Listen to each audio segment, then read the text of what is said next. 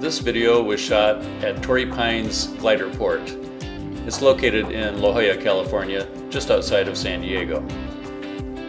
The strong ocean breeze coming off the cliffs below provides powerful uplift and the paragliders can sail for miles down the coast.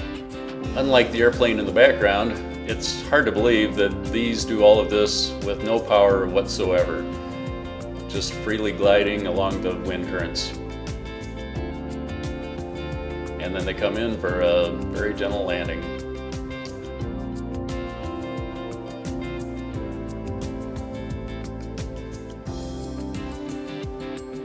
In addition to the paragliders, there are also a few hang gliders.